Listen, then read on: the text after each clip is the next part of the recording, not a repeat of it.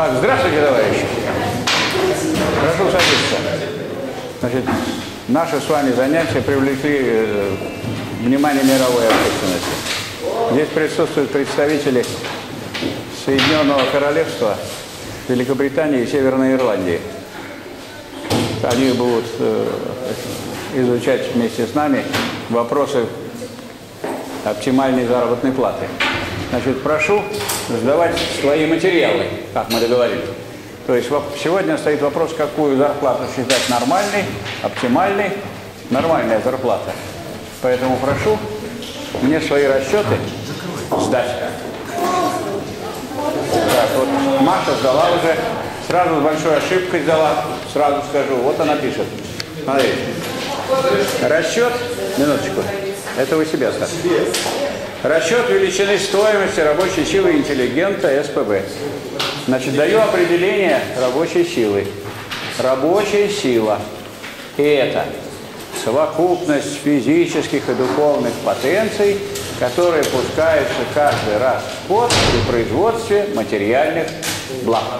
Материальных благ.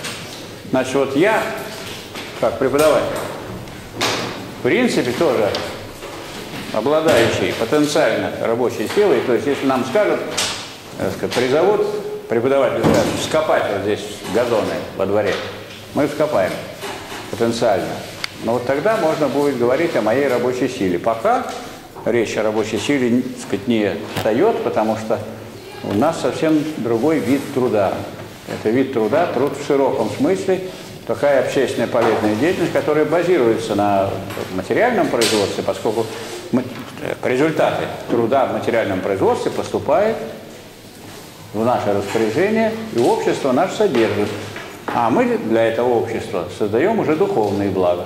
Правильно? И каждый, кто хочет создавать духовные блага, должен для этого располагать материальными благами.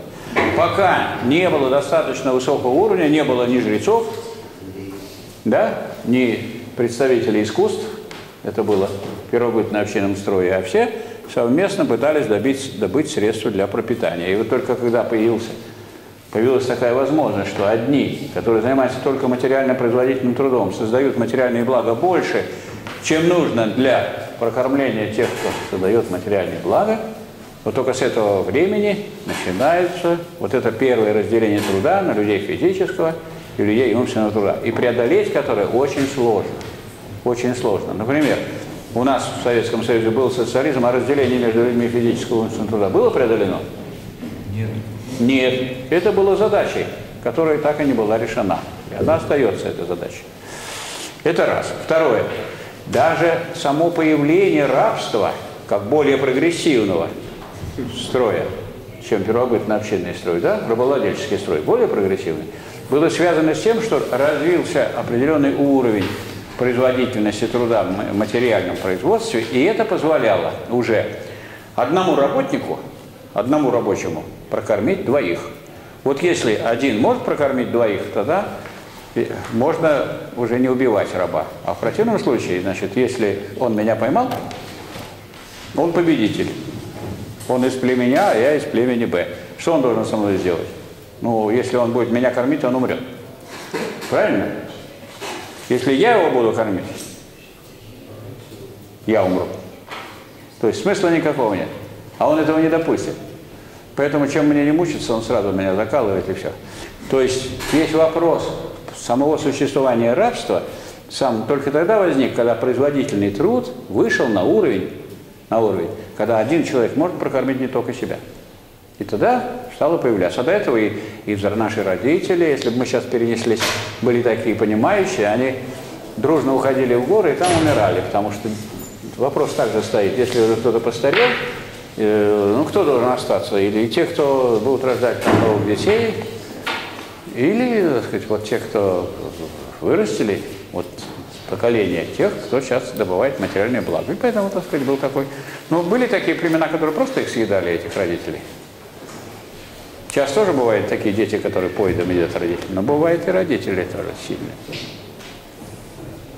Поэтому мы никогда не должны забывать о вот этой проблеме, что в основе всякого общественного развития идет, лежит сначала развитие материального производства. материальный производительный труд. Поэтому от того, что мы, так сказать, вот посчитать нужно, э, можно посчитать, что является нормальным потреблением. Но это как можно посчитать, что является нормальным потреблением без учета того, как живут непосредственный производитель. Потому что это должно быть связано. Ведь не так обстоять, обстоять должно дело, что нам не важно, как они живут, мне обеспечили вот такой-то уровень. Хорошо, мне обеспечили за счет чего? За счет того, что они будут вымирать. А мы с вами уже знаем, что на сегодняшний день, картина какая, что э, минимальный размер оплаты труда 5200, а прожиточный минимум гораздо больше, почти 9 тысяч. И идет вымирание представителей материального производительного труда. Ну вот поэтому с самого начала запев, так сказать, с которым тут э, вышла Маша, с таким это, подписью «Товарищ Ли», я ей сказал, что вот это такой сомнительный у вас подпись, то ли товарищ, то ли господин товарищ Ли. Товарищ Ли? Вот, так, ну вот это вот комментарий, поэтому это как бы обесценивает дальнейшее. Она там так такие фантастические такие вещи нарисовала. А нужно говорить не о фантазиях, а о том, как вы считаете, надо организовать общество. То есть не о том, что мне представляется. Мало ли что мне представляется. Может, я хочу кушать мясо антилопы и ходить э, в сапогах из крокодилей кожи. Это другой вопрос. Так, Нагаевой Алсу Ильдаровны. Вот. Анонимка. Кто Нагаева? А что вы анонимку? Как не анонимка? Сверху написано. Так я сверху могу написать Попов Михаил Васильевич. Так, вычеркну это. Вычеркну это. Вы же понимаете, вы себя, вы же конфликтолог. Вы должны это исключить. Какой-нибудь схватит такой злодей вроде меня и начнет Особенно, если у вас на компьютере было напечатано сверху. Ну, я сверху это, знаете, как раз зачернил, удалил, пишу там «Попов Михаил Васильевич». А потом распечатываю подпись внизу. Попов. Подпись где ставится? Я в прошлый раз говорил. Подпись ставится. Над или под? Подпись. А есть надпись. У вас что есть? Надпись. Анонимку возвращаю. Рассматривать буду, когда будет подписано. Так, еще есть какие-нибудь подписанные документы? У вас нету? Выговор, выговор занесением, выговор занесением в память. Это очень, строг, очень строгое наказание, и оно так бы стирается постепенно по мере забывания. Выговор занесения в память, запомните. Почему это вам сказано? Так, ну, так энергично, с энтузиазмом было сказано, что вы тут все медленно делаете, Михаил Ильич, мы тут быстро посчитаем за неделю. Проходит неделя, Михаил Ильич, куда вы торопитесь? Сейчас жизнь впереди. Это у вас вся жизнь впереди. А? Мы же не знали, что мы беремся. Я, допустим, сегодня села делать и... Как это вы не знали? Не знаю, очень трудно здесь. Вот и, вот и поэтому и говорят. Вот, не хвались, едучи на рать, а хвались, едучи с рати. Вот. После битвы надо хвалиться, а не до битвы. А то, значит, до битвы мы тут сейчас всех разгромим, сейчас все сделаем. Так, вы, я так понял, в рядах, поскольку на первом... Я согласен с товарищем Токером. Что вы написали? Я... Где у вас документ? Мой документ... Что, нету документа? Скрыт. А что вы? Нет, хорошо, вам дается возможность себя проявить, так? Ну, Зарекомендовать, выявить самостоятельность свою, так? Выделиться из серой массы. Ну, и что? Ну, вы решили выделиться, просто сесть ближе ко мне, да? Спасибо за близость. Хорошо.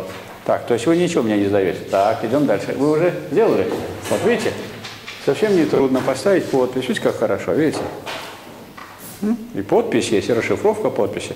Числа нет только. Я, не, я, я, я слишком придираюсь. Вот есть такие, как, вот представляете, кто-нибудь пришлет какой-нибудь документ серьезный, вот вы кому-то пришлете без подписи и числа, что я с ними буду делать? Ну, здесь у нас учебные занятия, а я обычно, если мне приходит, что я с ними делаю, сказать? У меня есть урна, и я в урну так просто? А есть еще, вот я видел у докеров такой специальный аппарат, они его называют учет мнения. Это такой аппарат, который сразу вот любую бумажку на мелкие части, они его туда, фррр, это называется учет мнения.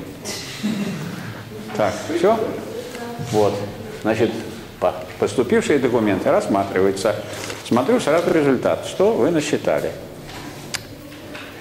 И насчитали вы 172 тысячи 2009. То есть с учетом того, что работает оба. Значит, за счет чего это? Можете сказать, за счет чего? Какие изменения вы произвели, которые сказать, привели к некоторому росту по сравнению с тем расчетом, который был? Я, я, я добавила немного своего, а, что посчитала нужно. Ну а что вот вы такого добавили? Скажите, пожалуйста. Ну, Я добавила а, учет затраты на косметолога для женщины и Косметолог. затраты на маникюриста, чтобы Ну, у вас женщина одна там в семье или имеется в виду для детей тоже? ну. А то дети тоже сейчас вовсю раскрашиваются. А? Для мужчин. Добавили. Для мужчин косметолога? Так может вы а представитель какой-то фирмы косметической? Для мужчин-то чего? А то иногда люди, так сказать, вот э, встретятся такие красавицы, а потом утром проснутся, а если косметики нет, думают, а я вы э, совсем э, другую жену брал. Так что это хорошее дело. Так, понятно. Вот это вы добавили. Косметику. Хорошо. Я думал, образование добавите. Ну, ладно. Когда у вас уже есть Не, ну ничего плохого. Нет, ну, э, понятно. То есть вы сказали, что вы добавили. То есть, так сказать, вы считаете, что надо вот нормально, 172 вещи. А, а кому не, не, не хочешь, как говорится, использовать косметику, пойди съешь яблочко. Да. Дело хозяйское. Хочешь, хочешь румян сюда, а хочешь свеклу купить. Всё, По-разному можно подойти. Понял. Хорошо. Так, еще. Кто у нас? Так, вот есть вот товарищ. Если гора не идет к Магомету, Магомед идет к горе. Так, где ваш труд? Мой труд просчитан в книжке. А? Мой труд просчитан в книжке. Девочкой Что значит прочитан? втроем. Почтение, чтение, объясняю. Чтение – это потребление знаний. Согласны? А написание своей работы – это воспроизводство знаний. Вы, как конфликтолог, хотите научиться производить знания или только потреблять? А тут важно и то, и то делать. Вот если я буду спортивное питание потреблять, буду я хороший спортсмен? Отчасти это уж. Что значит отчасти? Я больше ничего не буду делать, только буду спортивное питание есть. Буду такой, приду такой. Вы будете очень накачаны. Ну, и по- я буду очень накачанный. Ну, буду я спортсмен. Отчасти. Вы таким хотите быть спортсменом, как я? Нет. Нет. А что вы не сделали? Мы Вам тоже. Не вижу ваш документ. Где ты документ? Давайте. Он из... Ваш документ. Чего вы листаете чужой документ? Это документ мой. Я вам подарил. Это мой подарок. Что вы там? Это редактировать не надо. Это в авторской редакции идет. Вы еще редактировать не должны, пока еще у вас прав нет редактировать. Это мой, и я его издал. да. Все, у меня авторское право на редактировать. Там букву С не видели, нет? Есть там буква С? Сейчас посмотрим. Может и нету. Тогда можете редактировать. Есть. Все, видели? Вот С Попов. Что это означает? Это ваше авторское право. Да, вы нарушили мое авторское право. 200 долларов.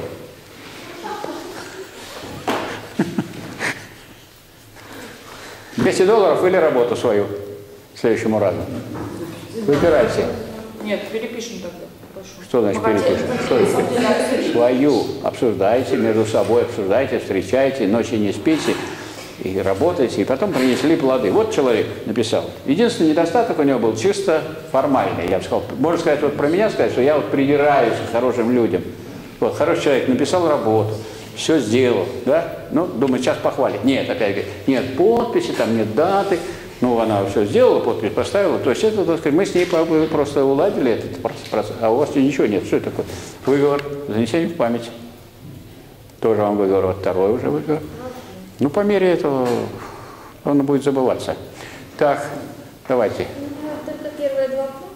Почему это первые два пункта? Так, рабочая величина стоимость рабочего приобретения трехкомнатной квартиры в Санкт-Петербурге в кредит. Ага, то есть вы где-то по дешевке решили? Нет, не по дешевке. 67 950 рублей в месяц. Так, страхование жизни. Итого, и к чему это привело?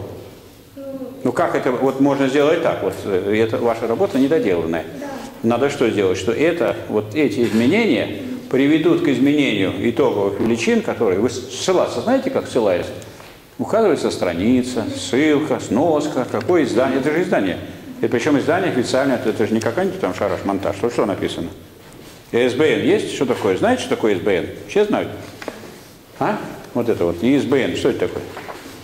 Не знаете? Чего не знаете ничего?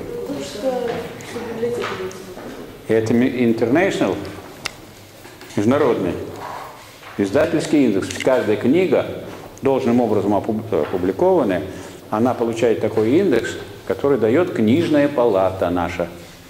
Книжная палата, которая находится на Кремлевской набережной, дом 6. И вот если эта книга такой имеет номер, ее всегда легко найти в любой мировой библиотеке по этому индексу. Вот есть книга, она вот, есть у нее вот здесь вот точное название, указано количество страниц. Вы ссылаетесь на книгу, пишете страницу в отличие от расчета, приведенные в книге там Попова с компанией. Так?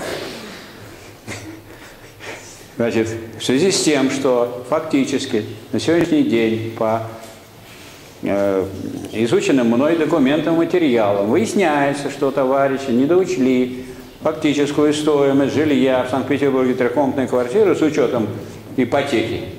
Поскольку ипотека – это деньги потекли. К кому? И от кого? Ясно, что они от вас потекли куда? В банк. Ну, поэтому вот не доучли. Поэтому вот в связи с этим и страхование жизни и здоровья мы тоже проверили, перепроверили, получили разницу. В связи с этим разницей, так, сумма, которая была указана, а именно вот такая, должна быть увеличена настолько, и в итоге вывод вы должны сделать. Чего всего? У вас ничего не сказано. Что в итоге? Какой вывод? Что написать надо? Написать итого стоимость рабочей силы российского рабочего или рабочего Санкт-Петербурга. По моим расчетам, с учетом сделанного расчета, на который я опираюсь, вы опираетесь, но вы же дальше идете? Или уже все, конец науки? Можно дальше? Вы же молодой ученый или нет? А эти люди уже как бы уже все, расход. Вот вы идете дальше, опираетесь, так же развивается наука, потом ссылается, но идут дальше, они оставляются. И вот он составляет вот столько, и вывод. Подпись есть, Прокудина, число есть, 20-го, 10-го, все хорошо, доделать, в следующий раз принести. Так, вот там товарищ в черном. Это не означает, что вы не сделали ничего. Это означает, что оно у меня тоже несовершенное. Что у вас? Я тоже смотрел недвижимость, поскольку могу знать о недвижимости, но не знаю, продуктовую корзину Но вот у меня тоже Ну, получается. то есть вот ваша эта черная одежда означает, что вы не доделали.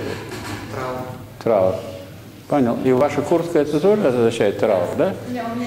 То есть в следующий раз я увижу вас в этом, как в чем-то таком синем, вас э, в ярко-розовом, да? А, не понял. Хорошо. Так, идем дальше, к народу. Ближе. Это что вы показываете мне? Это у меня у самого есть, я сам писал. Вы что, вы мне хотите за мое, хотите за свое, что ли, выдать? Нет, ну, слава богу, а я уже испугался, думаю, это нет ли у нас тут научного воровства? Научное воровство как называется? Воровство. Плагиат. У вас не плагиат. Вы просто показываете, что я, да, я ознакомлюсь глубоко. Не как вот эти люди, раз, раз, раз, и быстро сделали. А я вот она фундаментально подходит. Обратите на внимание. Фундаментально так подходит. Но выговор вам все равно занесением в память, потому что вот этот край, больше всего вот этот вот ряд кричал, мы тут сразу вам дадим за неделю. Я говорю, вам может две недели дать? Было дело или нет? Не, не надо две недели, мы тут за неделю всех разнесем. А у вас что? Тихо-тихо вашего персонально, где? У вас, я смотрю, это большая бумага, на ней многие, много разных значков. Вот. Иногда это называют тараканами. Вот, когда на бумаге что-то написано, ничего в итоге нет. Но это, я так понимаю, что вы из этого состояния выйдете и, так сказать, членораздельно потом, и вы тоже. И вам выговор, и вам выговор. И вам память, и вам память. Так, вам тоже какой-то БЗХ? А? Что у вас? Мы тоже потом вам на листочке оформим уже, как вы хотите. То есть не оформили до сих пор? Не сделали? Также записи были в книжке вашей, но мы потом сделаем вам отдельно. Книжек у вас нет? Не понял. Мы также сделали исправление у вас в книжке, где недочеты. А что в моей книжке делать исправление? Там, где места, которые вы не Да посчитали. берите сразу Маркса и делайте у Маркса исправление там. Еще какие-нибудь. Возьмите книгу Дудника, директора нашу, в ней сделайте исправление. Как-то это странно.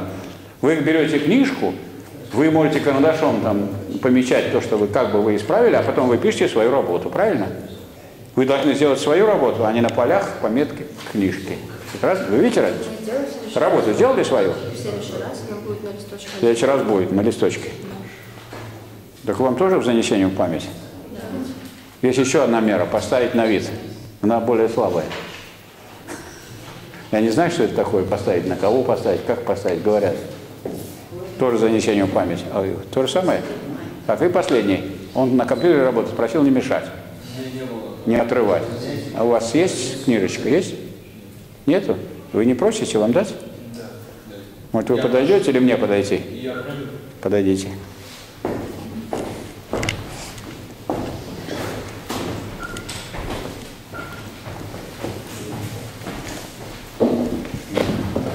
Так.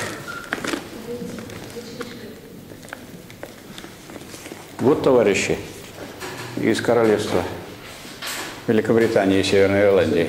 Поймите, что наши товарищи подносят к решению вопроса фундаментально, так просто не делают. Очень серьезно, и за неделю там такие серьезные вещи не решают. Один только человек мог сделать, выдающийся. Ну, все подписал. Вам объявляется благодарность. Вот. На зачете я это не забуду. А то, что другие не сделали, на зачете это не забуду.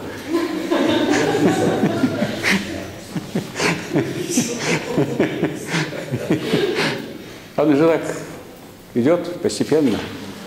Ну вот, э, уважаемые товарищи, значит, я думаю, что э, задачу все поняли. Или есть вопросы, какие-то сложности возникли, кроме того, что не сделано, есть какие-то препятствия, которые я мог бы вам помочь разрешить? Вот вы бы сказали, что вы нам дали такую задачу, а вы дали неподъемную задачу. Вы что, такая серьезная проблема, а мы такие молодые, здоровые, крепкие, образованные, мы ее решить не можем. Значит, какие есть проблемы неразрешимые у вас? Сейчас по порядку. Что?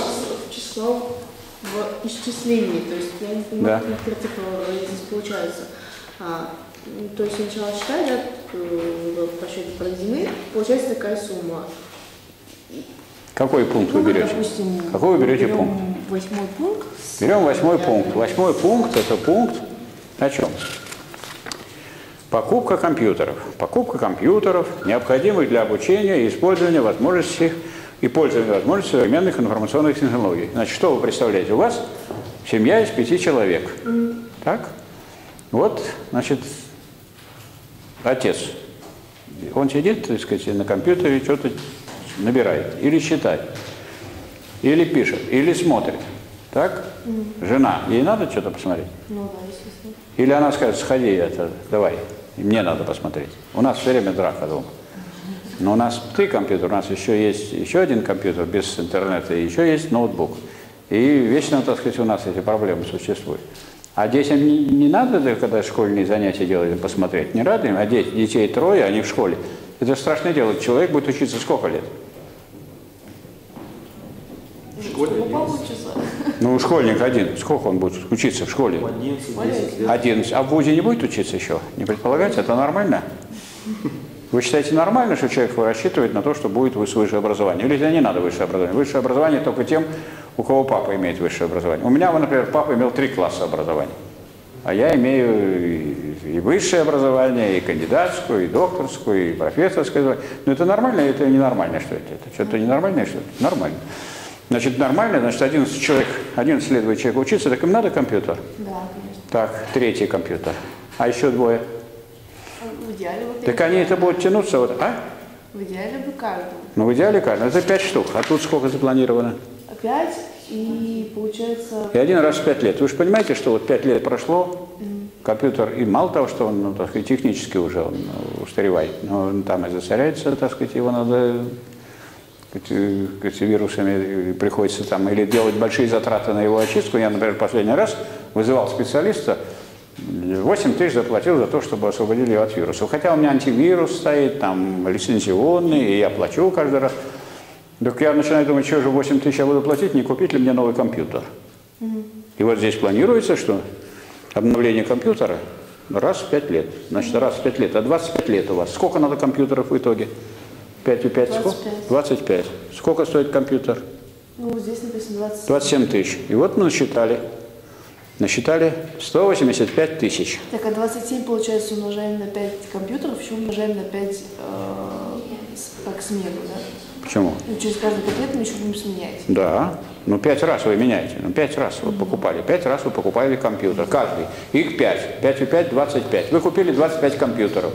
По такой-то цене.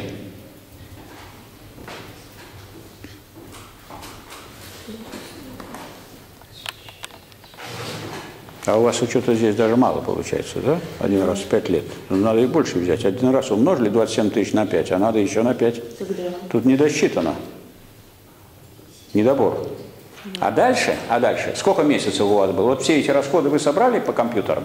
На сколько надо разделить? На 300 На 300. Почему? Потому что 12 лет, э, 25 лет по 12 месяцев. 25 на 12 – 300.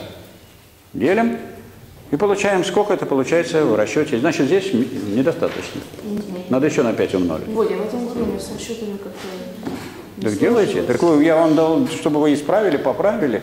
А, Да. Я подумала, что я, может, неправильно считаю. вот А что вы так думаете? Что вы себя недооцениваете? Ну, это люди, это уже устаревают люди, а вы новые пришли. Когда последний раз считала? Не, ну кто должен быть умнее, вы или я?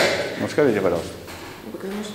А? Вы, конечно. Не знаю, мне внучка говорит, если, говорит, если говорит, мы бы не были умнее, то зачем вы нас тогда родили? Если Какой смысл-то? Ну, идти что, деградация идет, что новое поколение глупее, потом следующее еще глупее. Нет. То есть ваши дети глупее, значит, мои дети глупее меня, ваши де- дети глупее вас, дети ваших детей еще глупее. Что делать, куда катиться? Ну, я-то, я-то предпосылку закладываю, что вы умнее. Ну, вы умнее, моложе, так вы проверяете, делаете лучше. У нас есть какие-то ограничения, что вот статьи могут писать только люди в возрасте 50, 60, 70 лет? Есть? Вот вам кто-нибудь запрещает написать книгу сейчас? Нет. Вы книгу не написали? Нет. Почему? Ну, так сложилось. А? Ждете, когда постареете, что ли? Не, ну вот скажем, у нас... Ну, когда... Я вам хочу, я вам хочу рассказать эпизод. Наш вот ректор Александр Данилович Александров, математик, академик, геометр и спортсмен хороший. Команда была матмеха такая. Ректор Александров, профессор Борисов, студент четвертого курса такой-то и первого курса такой-то. Команда была. Матмеха по слалому. Вот ректор говорит, этот самый Александров, что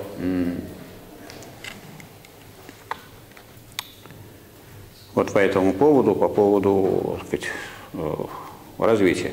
Значит, рассказывает, что конференция была международная у нас в университете. Приехали иностранцы, как бы вот как и здесь, и спрашивают, а вы, говорит, девушка, с какого курса?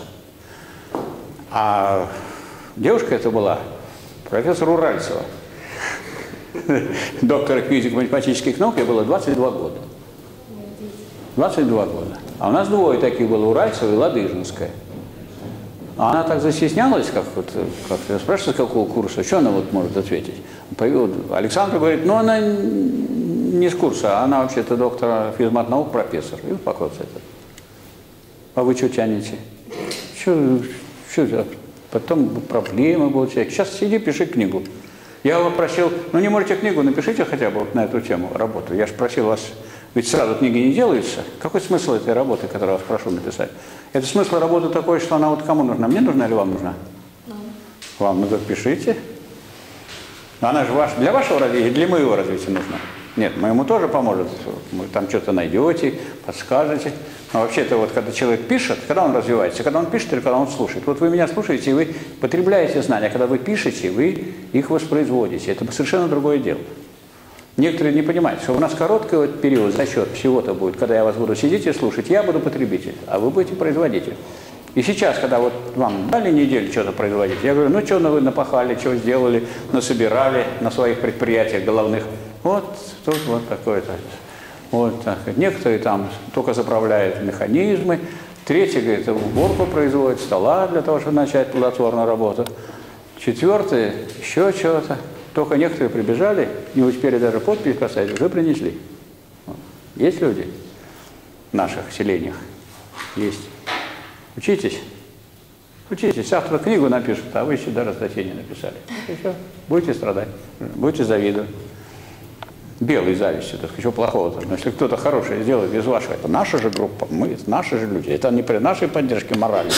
Вас вся группа ведь поддерживает, правильно? Вас вся группа же поддерживает, добрый, чтобы хоть группа не ударила в грязь лицом. В следующий раз еще кто-нибудь один напишет, так и будет. Весь тянуться, да?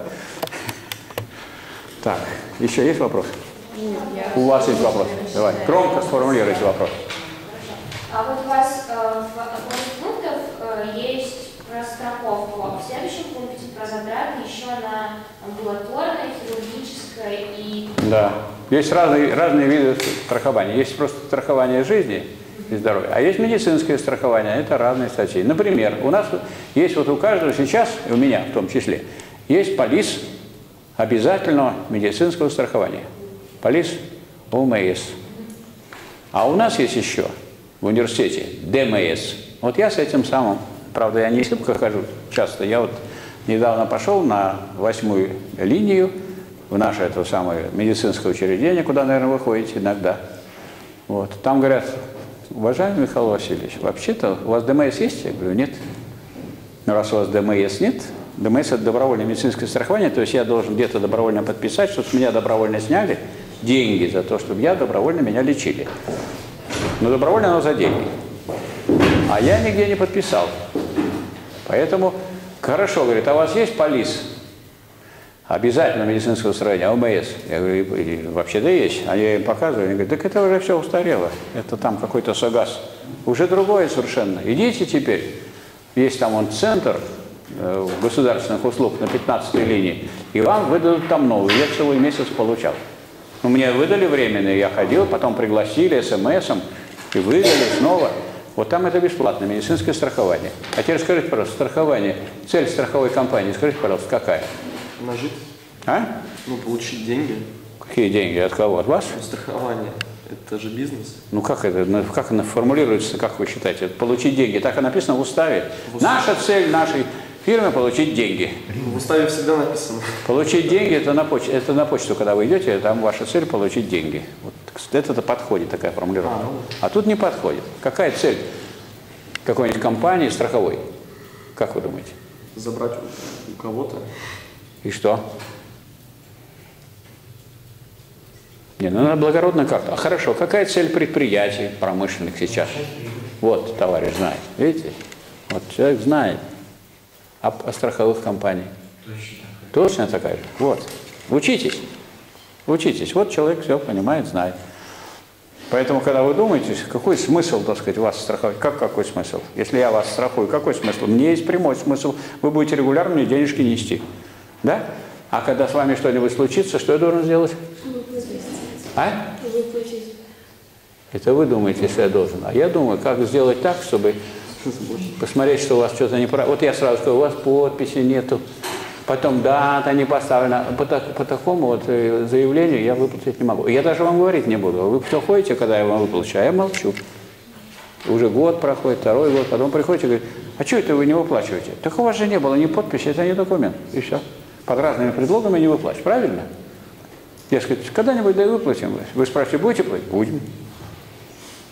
Будем. Когда? Вот вы оформляете пока. Это вы сейчас как-то быстро сразу среагировали. А вы не знаете таких случаев, когда люди пытаются как-нибудь получить страховку? Вот, допустим, представьте себе, вы идете, получаете билет на поезд. Вас страхуют. Дают, то есть, что значит вас страхуют? То есть вы деньги платите кому? Страховой компании, это РЖД. Вот представьте, теперь ваши вагоны прилетели кувырком. И вы сейчас пойдете искать начальника станции. Какой станции? Вы в болото упали со своим вагоном. Вот как Невский экспресс. Начальника станции, чтобы заверил вам, что произошло крушение. Вы этим будете заниматься? Чем вы будете заниматься? Вы будете думать, как эту рану перевязать, если вы останетесь живой, и как добраться до города. Так? а не вовсе не о том, как оформить. А когда вы доберетесь до города, потом мысль вам придет, когда все так утихнет более-менее, вам придет мысль, что надо бы получить деньги, а вы на месте этого там оформили, что, что произошло? Нет? Ну, вы же понимаете, несерьезно. А что, как, кто это на доверие может просто так вот выплатить деньги? Я могу вам деньги из вашего разговора выплатить? Ну, это серьезно у нас фирма страховая. А вы пришли меня запросить деньги. Видите, он деньги хочет получать. Он хочет получить, вот он хотел получить деньги, а у нас цель прибыль. А? А вы тут при чем? Где? Вас а что рельсовом подтверждает? Это пути. там была авария. Ну что, а вы воспользовались той аварией, набежали, прибежали, деньги получили. Вы тут при чем? Да нет у вас уже, где, откуда взяли, что у вас есть билет? Электронный. Он сохраняется в компьютере. У вас электронный? В Электронный. компьютере? Это, думаете, документ электронный билет? Я сомневаюсь. Я Там думаю, что нет. данные, там оплаченные. Да я в компьютере могу такое себе наворотить, на миллионы. Так нет, это же в базе РЖД. В какой базе? А если оплачиваешь... Идите в, ба- идите в базу РЖД, то есть вот у вас есть доступ... И вот люди, так, у кого ру- рука сломана, у кого нога, значит, особенно те, у кого ноги сломаны, они тут из ба- базы ЖРД обращаются и так далее. Вы, вы не знаете, а, скажем, э, водителей, которые пытаются получить страховку, всем удается получить страховку и всегда? Не всем, и не всегда. Ну и, а в целом, так кто от этого так выигрывает в итоге, от всей этой страховой деятельности? Можете представить, рост страха. России страшно. Страх. Вот и раньше запугивали, а теперь. Государству страшно. Почему страшно? Так страшно много денег собирать. Так. А? Вы, вы разве не слышали сейчас вот э, турфирмы? У них якобы застрахованы ваши все приключения. И эти, оказывается, застрахованы на такие суммы, что они никак не покрывают те затраты, которые... Ну вот вы остались там, за границей, лопнула ваша фирма, которая вас отправила в Турцию, в Таиланд, черти куда. Так, лопнула. Дальше вы идете туда, там, требуете страховую компанию, там есть представитель. А те, а те вот тоже лопнули. Или говорят, мы можем заплатить только в 10 раз меньше. Идите судитесь. Когда вы будете судиться? А пока вы заплатите. Вам уехать надо было. Поэтому люди страхуются как? Они берут с собой деньги на всякий случай, чтобы доехать. Потому что хорошее дело страхование. И хорошо, что есть фирма, но с собой берут деньги. И эти деньги, думали, что-нибудь купят или потом привезем, и останется. Раз, и их истратили, и все. Сейчас же полопались эти все компании страховые прямо на наших глазах. Или я неправильно рассказываю? Читайте, смотрите сейчас, что происходит. Что происходит в турбизнесе. Поинтересуйтесь. И люди лишаются не только, что вот они поехали отдохнуть, им приходится туда выбираться. Потому что их выставили ночью, чемодан выставили на улицу говорят, goodbye, Russia. И многих выставили уже. И вот начинают наши, как их, как в каком самолете убрать, не послать ли самолет МЧС и так далее. И прям, думаете, сразу за одним высылают, наверное, накопят их много, там помыкаются человек 100 или 200, тогда их вывезут, соберут, а это время они где-то нигде не живут. Ну, кто хочет, снимайте теперь в другом отеле. Вы же можете, у вас есть виза, идите в любой отель, платите в любые деньги и снимайте себе хоть любые хоромы. Какие проблемы? Хотя у вас все заплачено было. Вас выставили оттуда. Они-то от вас взяли, а вас взяли. А деньги они эти отели не заплатили, они положили в карман. А зачем тогда жизнь? А? Зачем тогда страховать жизнь страховой компании? Зачем, что еще хуже будет, если не застрахуете. Так хоть некоторые получают некоторые деньги. А сейчас, а так никто, никто и никакие. Да. Хотя вы, наверное, знаете, у нас был Северный банк. Где Северный банк? Тю-тю. А у нас был еще э, Национальный кредит банк, директором которого был, э, сказать, хозяином которого был некто Бойко, Максим Бойко. Папаша у него в ЦРУ был, работал на, в разведшколе преподавателем, а он был вице-премьером у нас.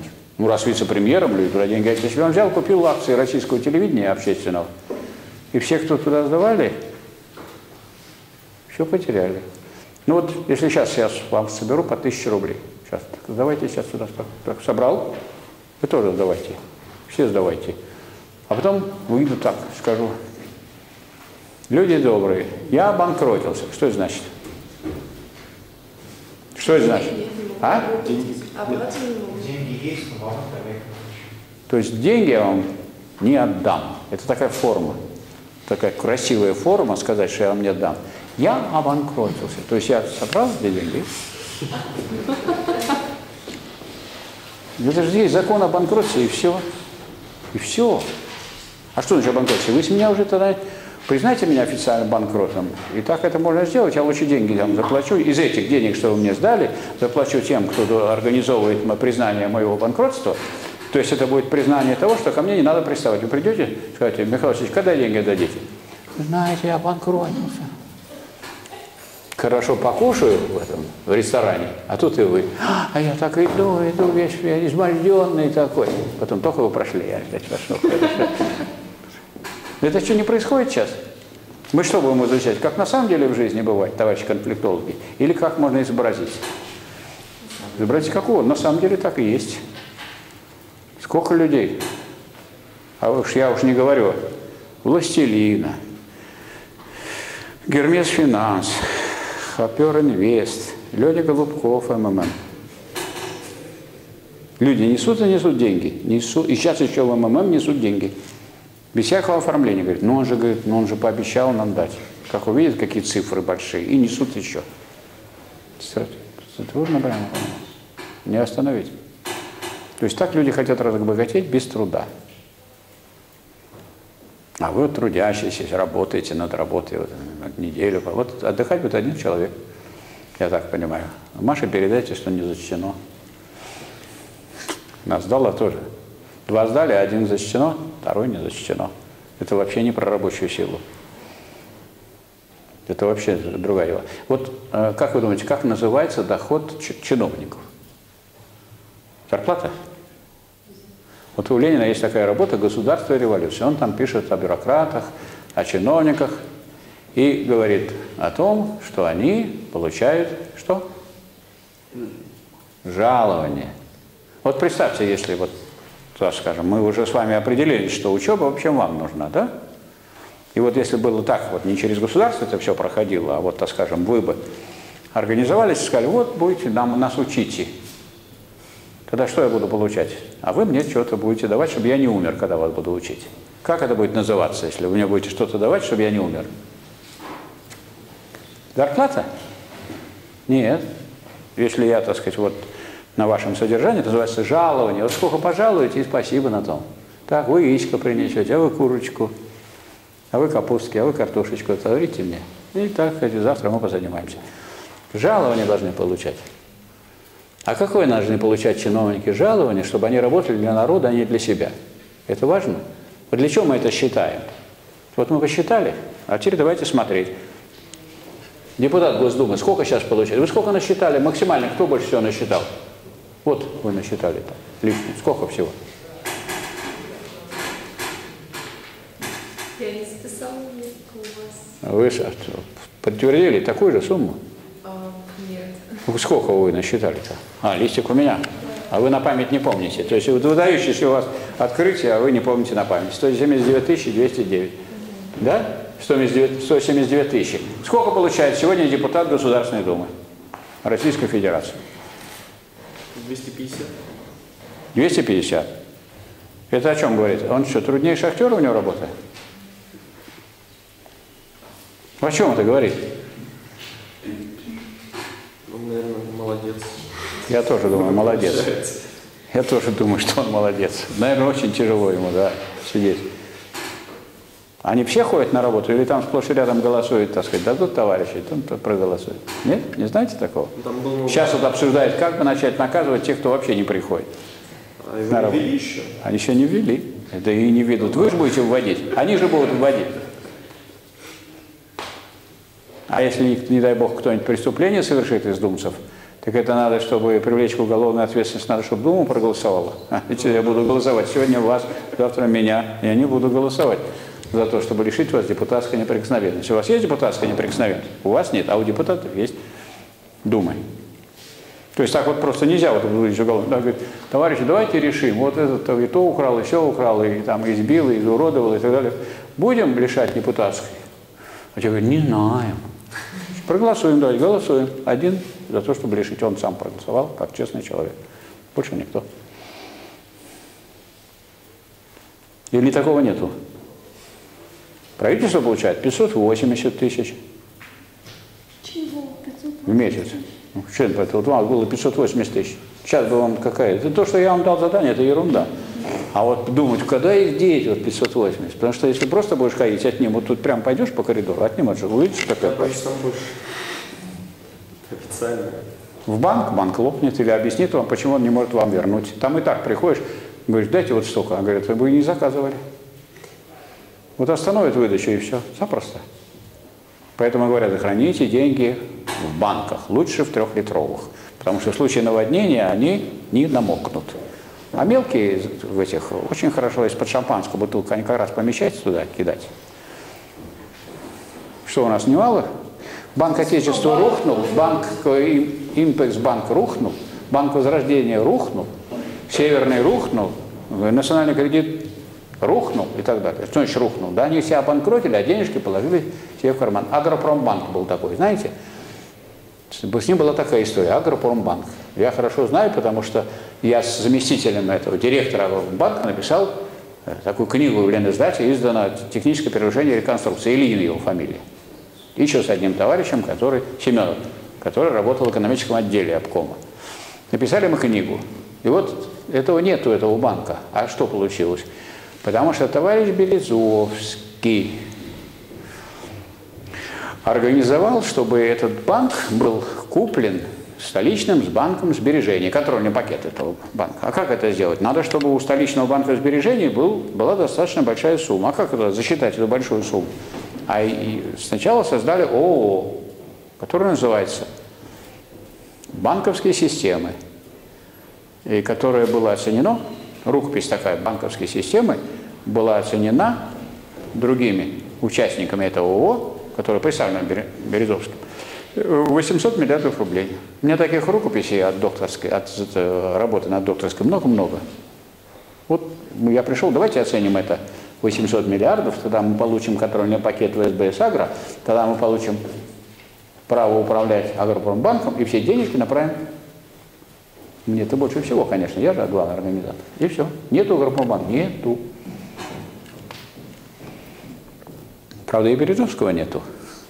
И поэтому не знаю, то ли он сам шарфом себя задушил так. Подумал, какой я плохой. Значит, то ли его повесили. Не, вот не знаю. Это история. И уже отступилась там полиция английская. Там нет данных, не, не нашли. Почему? Нет. Ну, вот приехали товарищи, ничего не могу сказать. Говорит, вы что-то нам засылаете в Англию, неизвестно кого. Хоть бы какого-нибудь порядочного человека туда прислали, а то каких-то мерзавцев шлют и шлют туда. У нас такой имидж России. Вот молодец Абрамович, он так сказать, чукотский губернатор был, а футбольный клуб купил в Англии. Для налаживания с трудящимся контактов. Что он здесь бы купил какой-нибудь «Спартак»? Пускай «Спартак» покупает из Африки кого-нибудь. А он купил в Англии хороший клуб. Любит футбол. Вы любите футбол? Есть у вас клуб, который вы купили? Нету. Нету? Объясните вам, как надо выигрывать футбол. Не знаете? Объясняю. Покупаешь самого лучшего тренера, который есть в мире. Первое. Без этого не выиграешь. Мировое первенство. Второе. Покупаешь самых лучших игроков. После этого выигрываешь все матчи. Понятно?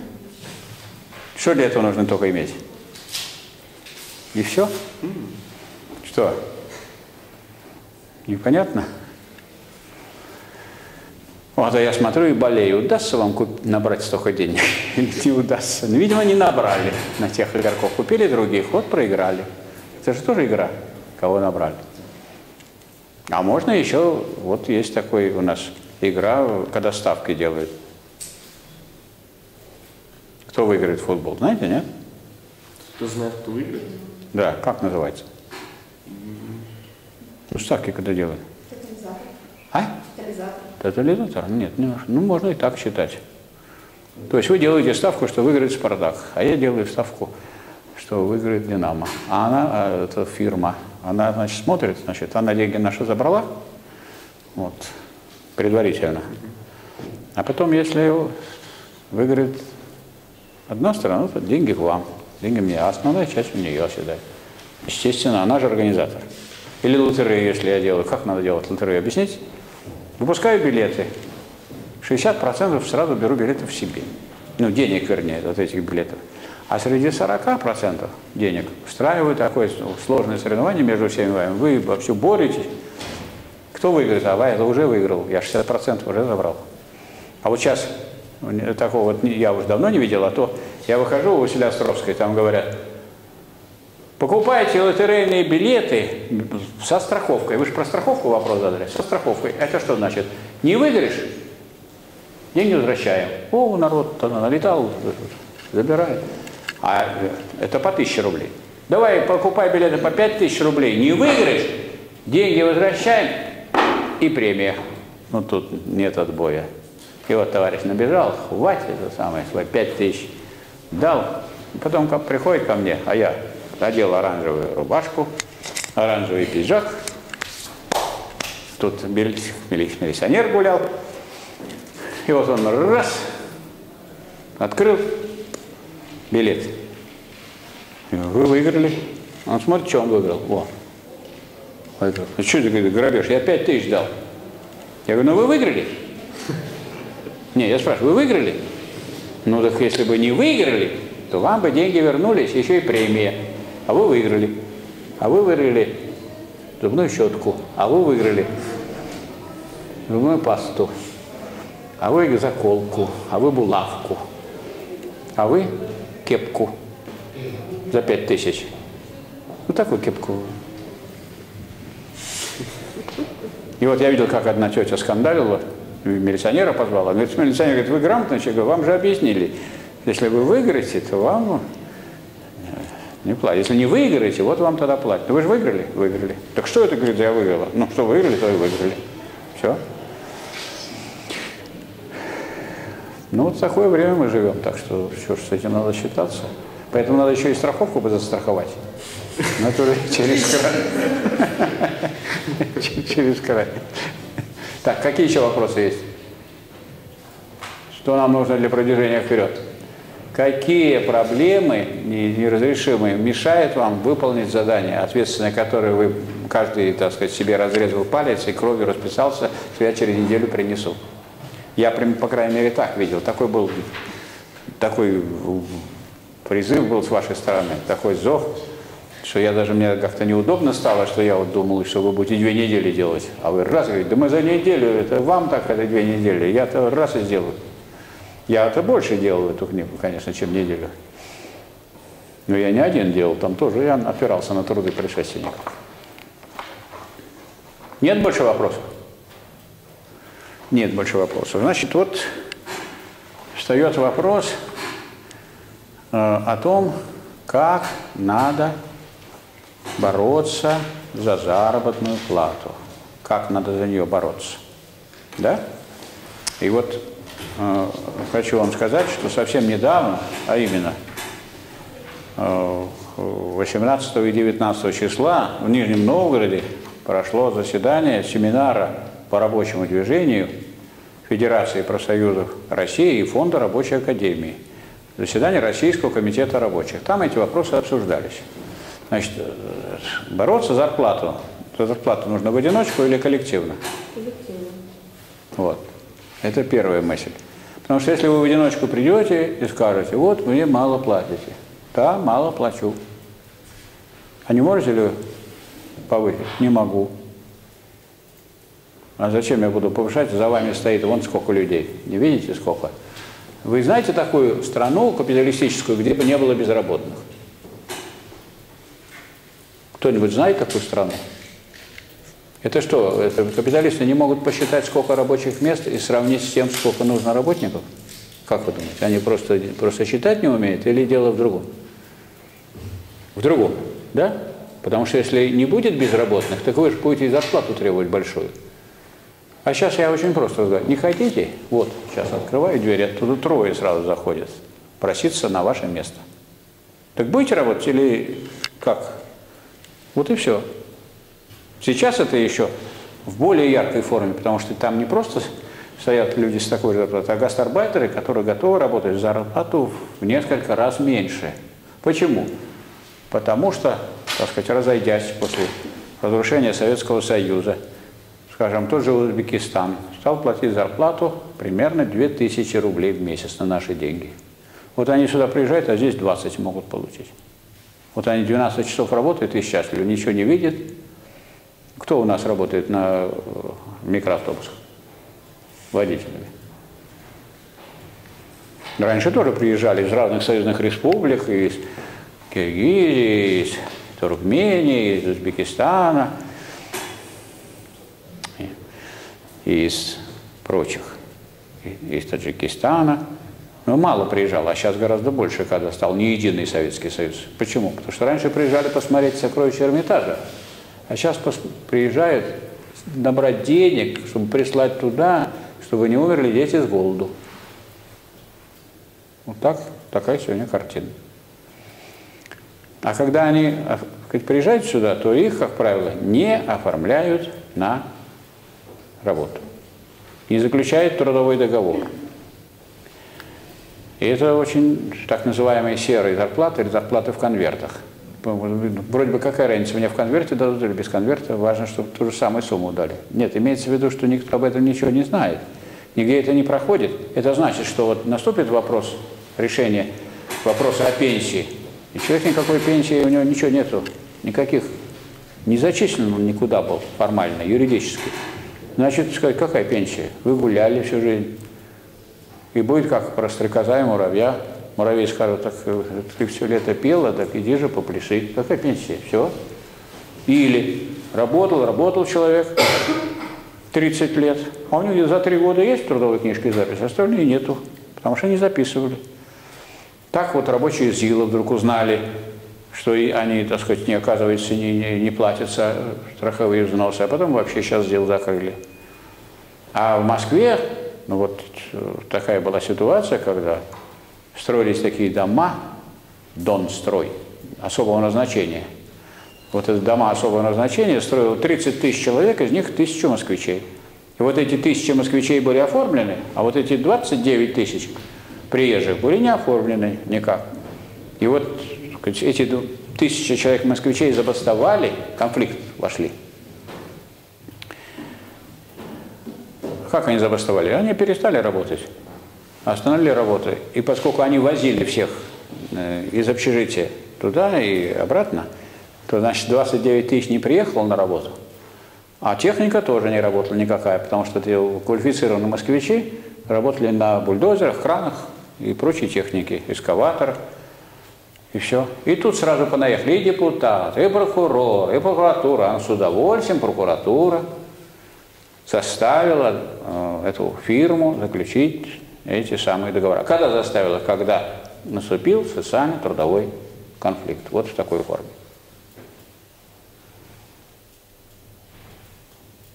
Ну вот здесь уже товарищи сказали, что в одиночку зарплату не повысишь. Правильно ли будет сказать, что, вот, э, что для этого нужно не бояться вступать в трудовые конфликты? Да. Да? Да. То есть трудовой конфликт в данном случае, если люди отстаивают, борются за нормальную зарплату, это оправданный конфликт или неоправданный? Или мы должны сказать так, да, давайте, вы там много не требуете, а вы там немножко прибавьте чуть-чуть, там 3 копейки, и давайте успокоимся. Вот какая позиция у конфликтолога? Значит, вот для того, чтобы эту проблему решить, надо вообще понять, что такое, понимать хорошо, что такое конфликт вот с точки зрения социальной философии. Вот все понимают, что вся жизнь противоречивая. Вся. И любой предмет, и любой субъект находится в процессе изменения. Вы находитесь в процессе изменения? Вот как вы это понимаете? Вот вы равны самой себе?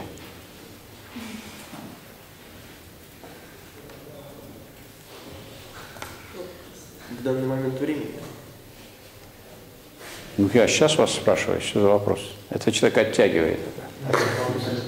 Вы себе равны или нет? Смотря какой времени взять и. Ну, если, Любой. Какой вам надо? Любой.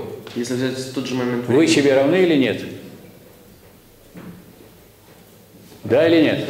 Ну да. Да, что-то как-то вы сомневаетесь. А я думаю, что того уже умер, Нет, что ли, тот, с кем я разговаривал. Чего вы сомневаетесь-то? Вы живете или нет? Ну да. Ну, если вы, это вы или не вы? Значит, равны.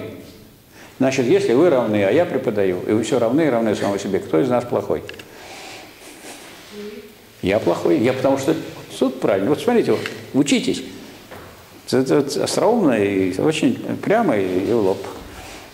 Если я такой преподаватель, что вы только равны самой себе, я уже сколько лекций вам прочитал? Нет, я не... В данный момент времени, если взять отдельно, без времени... Каждое любое время, сюда в данный момент, что не беспокойтесь. Сейчас. Значит, если вы только равны самой себе, то вся эта учеба на смарку. Вот я-то сегодня в оговорах зачем вам сделал? За то, что вы только остались равны самому себе. Как не делали вы, так и не сделали. А вот вы не остались равными самому себе. Должен ли я из этого сделать вывод, что это не вы? Я на всякий случай попросил, чтобы вы подписали, потому что вот вы это у вас не было, а сейчас вы это у вас есть. Вы другая же уже? Другая? Но вы другая это вы или другая это не вы? Другая я. Ну Вот, другая я. Вот видите, человек, как правильно философски говорит, другая я. Человек А равен самому себе, и Б не равен самому себе. Если он не равен самому себе, то уходите, отдайте документы ваши все студенческие мне, потому что они вам уже не принадлежат, вы другой. И вы даете себя за того, с которым я начал разговаривать. Отдайте сюда. А если вы только равны самому себе, то или я совсем негодный преподаватель, Или вы совсем негодный студент. Сколько я вас не учу, вы равны самому себе. Я и так преподаю, и сяк преподаю. Он все равен и равен. Уже другие уже не равны, и вот не равны, а вы один равны. И что это за студент такой, что он все время равен самому себе? То есть, как он ничего не знал, так и не знает. То есть, на самом деле, и это относится к чему? Ко всему. Все, что есть, все, что материально, в том числе и люди, они все находятся в процессе изменения, и есть равенство с собой и неравенство с собой одновременно. Не в, в какой момент времени, в любой. Любой. Потому что это не, не, не так, что в этот момент времени вы равны самому себе, потом вдруг скачок такой стал, только в другой момент времени он не равен самому себе. В любой. И всегда. Вот это называется изменением философии. Изменение – это равенство с собой и неравенство с собой. И даже специальной категории есть для равенства с собой есть такое э, понятие, как в себе бытие. Кажется, такое дикое понятие. Так смотришь, это в себе, вот раз равенство с это в себе бытие. Да? А вот сейчас я вам приведу такие примеры. Сейчас или я вот так сейчас с вами говорю спокойно, а потом начну кричать. Вот, все сделали, а вы не сделали. Это что такое? Вы скажете, вы что, не в себе? То есть не равны самому себе? В себе бытие – это равенство с собой. Вы можете сказать, я вот сейчас приду в себя и буду вам отвечать.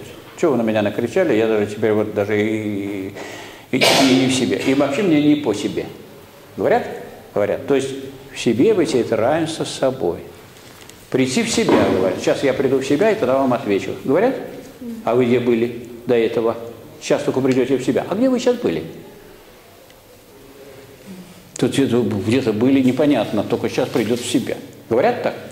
Говорят. То есть на самом деле прийти в себя – это стать снова равным самому себе, успокоиться, так сказать,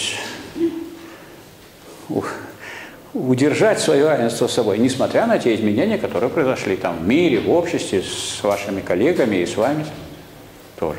Поэтому это очень важно. А другое называется бытие для иного. Не иное, вы же не иная теперь а вы бытие для иного. То есть вы и иная стали, и остались самым собой. Вот вы совершенно правильно сказали. Вот человек написал и правильно все излагает философски. И равенство с собой, и неравенство с собой одновременно. И в себе бытие, и бытие для иного. А вот момент равенства с собой, это же консервативный момент, сохраниться. Да? Мы говорим за, то, чтобы за консерватизм. Так это красиво звучит. Мы за философский консерватизм. Давайте все законсервируем. Давайте, давайте хоть то, что осталось от наших предприятий, хоть это сохраним. Хорошо, и это, да? Но давайте, может быть, мы все-таки начнем что-то вот двигаться вперед и будем обновлять эти предприятия, и будем там новую технику ставить. Давайте? Давайте. А это какой момент? Это перехода в иной момент. Бытие для иного. Поэтому Объективно есть противоречия, и если одни люди выступают только за то, чтобы сохранять и все, вот не трогайте меня, сказал, не буду ничего делать, и не буду, отстаньте, Михаил Васильевич. Это консервативная позиция, да? Прочная. Скажу, я консерватор, я и в партию вступлю консерватором, и не заставите меня ничем. Пейте меня чем хотите, идите к ректору, я вот писать вам эти самостоятельные работы. Не буду. Сказал, что не буду. Я человек принципиальный, сказал, что не буду работать, значит не буду. А другие, значит, они представители прогресса, движения. Но, правда, движение может быть или назад, или вперед. Вы вперед пойдете или назад? Вперед. То есть этот может ведь разломать то, что было, как во время перестройки. Может перестроить ведь хлеб в дворец, а можно ведь дворец в хлеб. Так вы что будете делать? У нас есть такие примеры? Вот выставочный зал на Исаакиевской площади. Это что было раньше? Конюшня была царская, конюшня, и там кони-то стоят. Значит, конюшню перестроили, в... а можно выставочный зал в конюшню превратить. Что, не бывает такое? Сколько хочешь примеров. Следовательно, одни люди, которые выступают только за сохранение консерватора, а другие только за изменения. Если это изменения положительные, то, видимо, это вот правильное разрешение противоречия по линии перехода в более высокое состояние. Правильно? Как называется движение от низшего к высшему, от простого к сложному? Это мы изучали с вами. А? Развитие. А в развитии всегда есть противоположные моменты. Прогресс и регресс. Поэтому есть люди, которые выступают за прогресс, а есть люди, которые выступают за регресс. Какова позиция конфликтологов в связи с этим? Двигаться по линии общественного развития. Двигаться по линии общественного развития, поддерживать. Ну, мы не сами-то будем двигаться, а то, чем мы, чем мы занимаемся. Мы должны поддерживать э, линию на прогресс. Если этот прогресс связан с конфликтом, и этот конфликт необходим для продвижения вперед, например, национально-освободительные войны – это прогрессивное движение или нет? Борьба с фашизмом – это конфликт или нет? Конфликт. Не, не надо конфликтовать. Вот давайте, вот вы будете фашистом, я не буду фашистом, мы будем рядом жить, дружить. Да? Вы хотели, чтобы у вас был сосед фашист? Не Вот очень. говорят, что Россия там вот она помогает этим новороссийцам. А вы хотели, чтобы у вас сосед был фашист? Или целая страна была фашистов? Да, управляемая, так сказать, из-за рубежа. Через своих гауляйтеров. Не хотели вы. Ну, говорят, а что это вы помогаете им? А зачем вы беженцам пом- помогаете? Ну, а кто им тогда поможет? Фашисты не помогут. Ну, там люди-то живые, убирают сейчас. Тут у нас был конфликтологический конгресс, приехала женщина из Севастополя, профессор.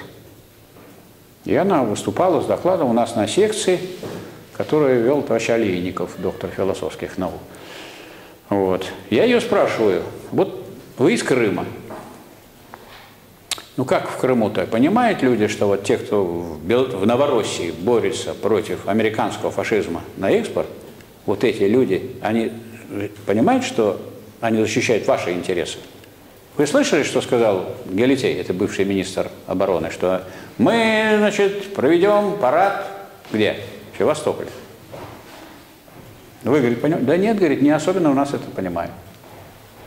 Я говорю, о, там стреляют, так там стреляют, потому что у вас не стреляют. Ну, давайте там, там если проиграют эти новороссийцы, куда придет война? Крым. В Крым? А куда и В Крым и придет.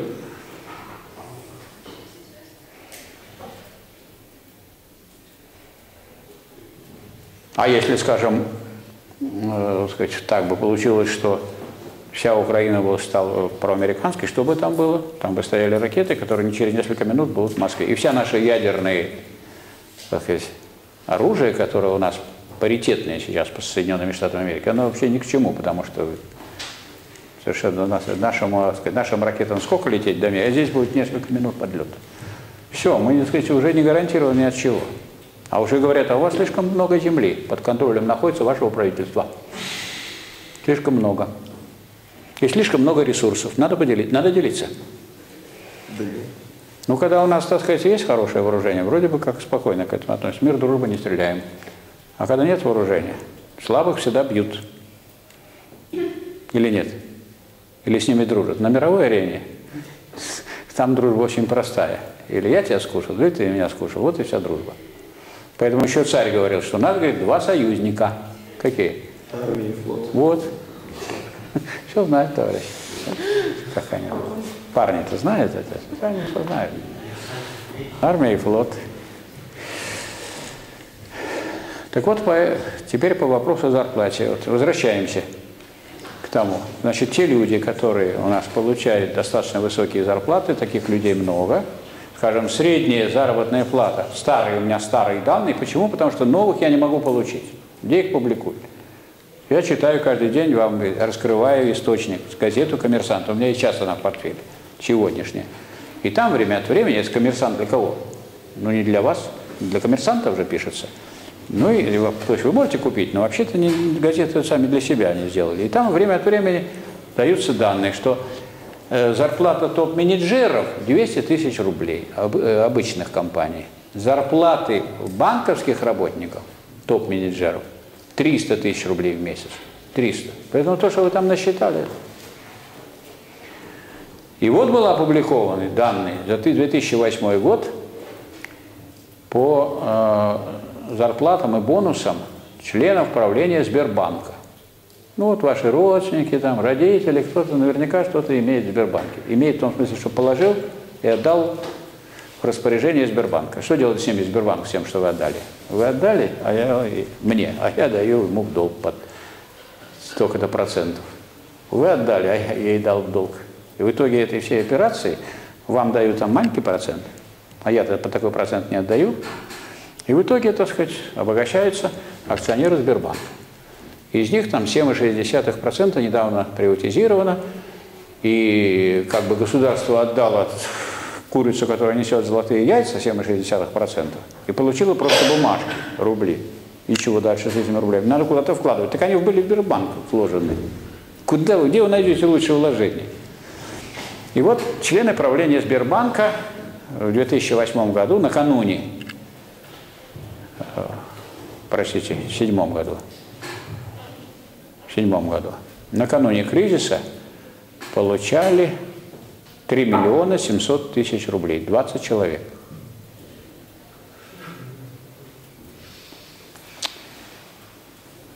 В месяц 3 миллиона 700 тысяч. Потом, потом, родился кризис, он по всем ударил. И по членам правления Сбербанка ударил. И, наверное, по их родственникам, потому что вот вдруг на заводах начались сокращения, а у членов правления стало на три человека больше. А зарплата и бонусы упали, и стало 3 миллиона тысяч. Вот вы представляете, на 300 тысяч у вас теперь в месяц меньше. Где слезы? Я не вижу, почему не выдавлены слезы у вас из глаз. А у вас почему не выдавлены? У меня нет такой зарплаты.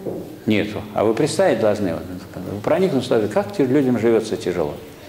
По крайней мере, вот на эти все зарплаты, когда начинают люди считать, зачем вам столько много? Вот я смотрю, Маша там насчитала там что-то, да, да пускай живут в одной комнате, да обойдутся без телевизора, без радио. Но обойдутся, конечно, это такая позиция есть, обойдетесь. Зачем вам горячая вода? Нос протрете керосином, не, не милорд еще пока. Так сказать, это очень просто.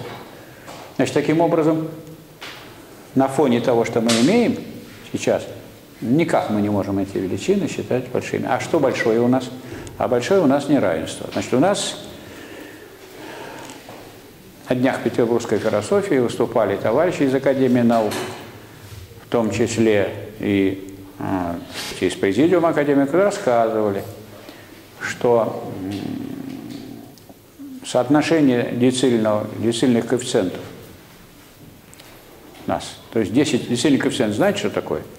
Коэффициент, который берет 10% самых высокооплачиваемых, самых высокодоходных, 10% самых низкодоходных, и вот эти суммы делятся, и получается децильный коэффициент.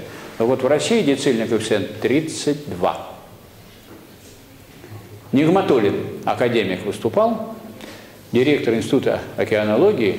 Я, говорит, конечно, не, не совсем экономист, я вообще директор Института океанологии, но я прекрасно понимаю, что ничего у нас в экономике не пойдет, если будет такое неравенство. Потому что если вы возьмете другие страны, Соединенные Штаты Америки 9, Европа 5-7, а если в Европе возьмете Скандинавию, 3-5. Это децильный коэффициент. А у нас 32. И вот мы знаем, что есть 3 миллиона 700 и есть 5 200. Но децильный коэффициент не берет эти вот мелкие, взятые только у отдельных людей, он берет 10% доходов самых низких, 10%. И 10% самых высоких. Это не может быть связано с нашей налоговой системой? А? Может быть связано с нашей налоговой системой? Он говорит, что налоговую систему надо очень просто сделать. Снять вот с этой самой верхней и добавить немножко в эту самую нижнюю, и получится...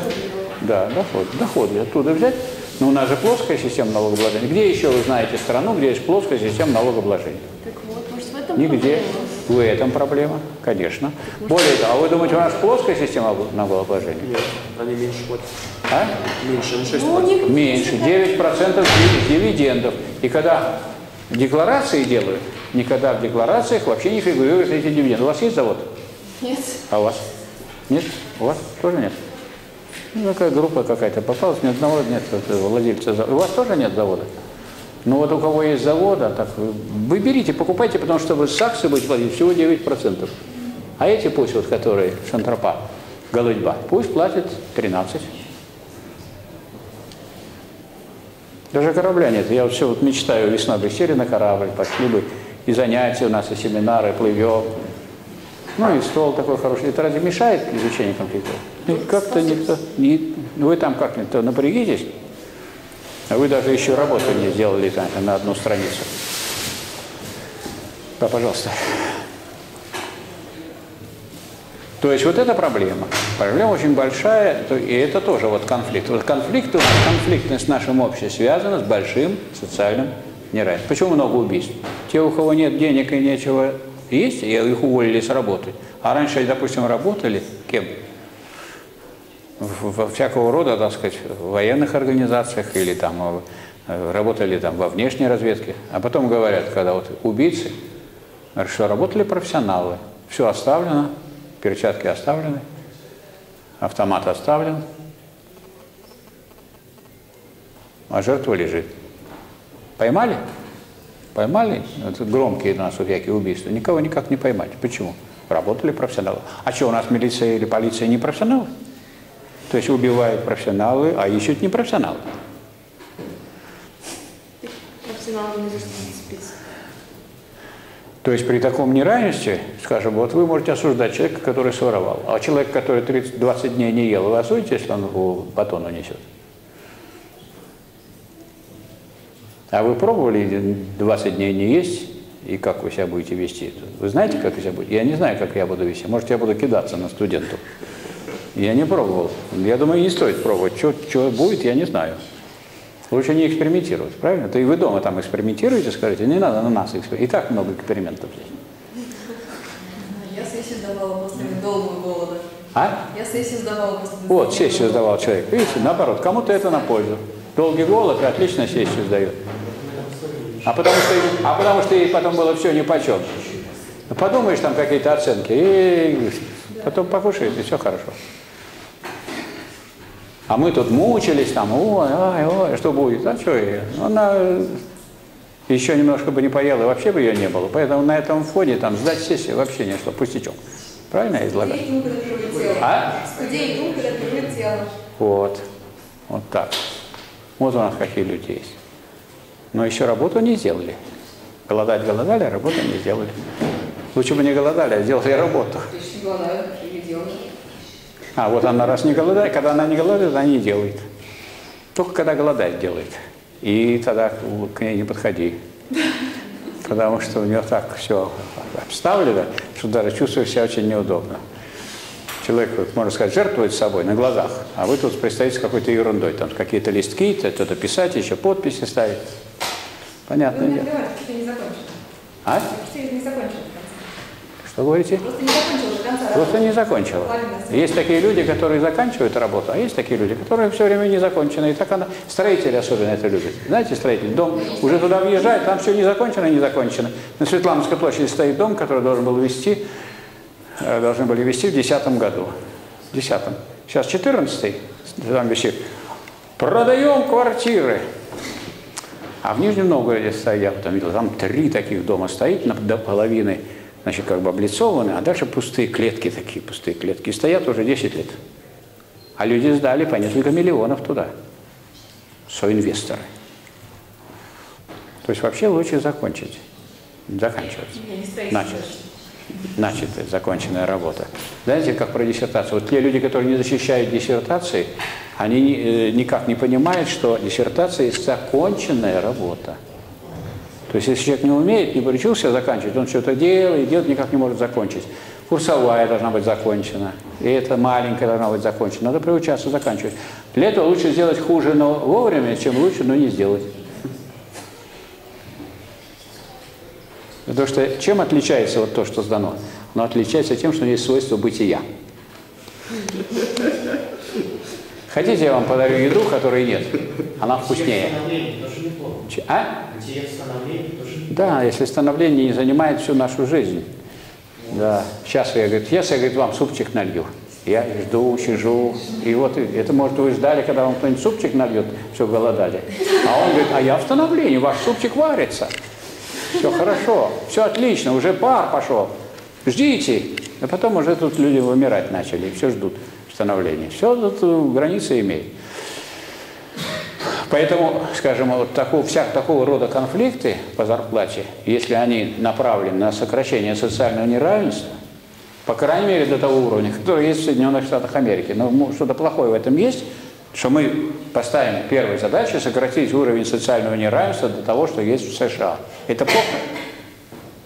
Вот кто сказал, что нельзя что только ругают США. Давайте что-нибудь хорошее возьмем из США. Это разве плохо, что там только в 9 раз, а не в 32?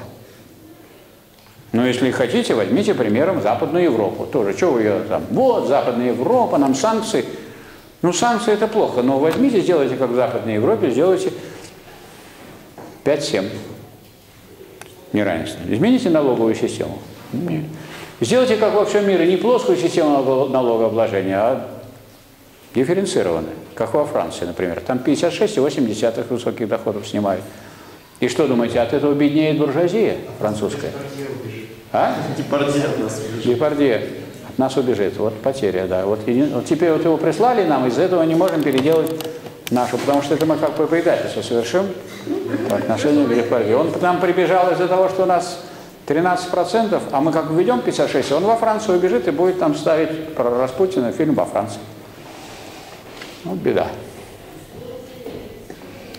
То есть, конечно, надо изучать э, зарубежный опыт. И вообще не надо ставить на такой точке зрения, что вот какая-то там страна плохая, какая-то страна хорошая. Так давайте, вот от позиции развития и прогресса здесь самое правильное. То есть давайте будем разрешать противоречия по этой линии. А не так, что вот если там, э, ну, так сказать, вы там э, занимаете там какую-то реакционную позицию, она прогрессивная, я говорю, а давайте вот это такой середина наполовину было у вас, то есть. Я вот медиатор. Медиатор, который от слова медиана посередине стоит.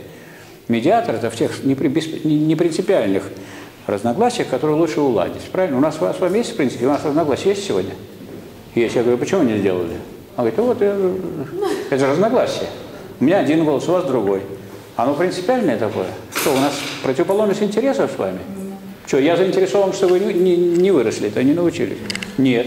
Или вы заинтересованы, чтобы я вас не обучал? Я что-то не вижу.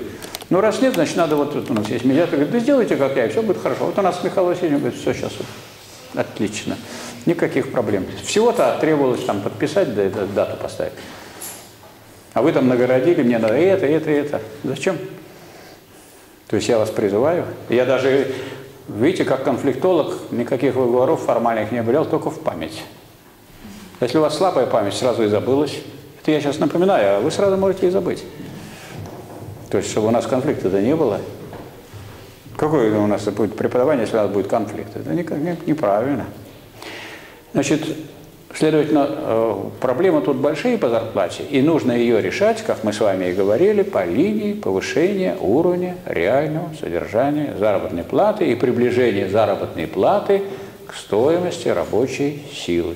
Вот это записано в программе задачи коллективных действий профсоюзов, утвержденной Федерацией профсоюзов России и принятые нашими такими передовыми профсоюзами, как авиадиспетчеры, защита труда, профсоюз работников радиолокации, радионавигации и связи и других. То есть есть профсоюзы, которые просто, так сказать, когда они их, так сказать, сталкивают работников вниз, как бы идет эскалатор вниз, они учат работников бежать немножко вверх. И поэтому они так быстро падают. А есть профсоюзы, которые сформулировали эту задачу и ставят решение этой задачи во главу угла. Это разрешение этих проблем. И разрешить эти проблемы, чтобы их разрешить, конечно, требуются солидарные действия разных представителей, представителей разных профессий.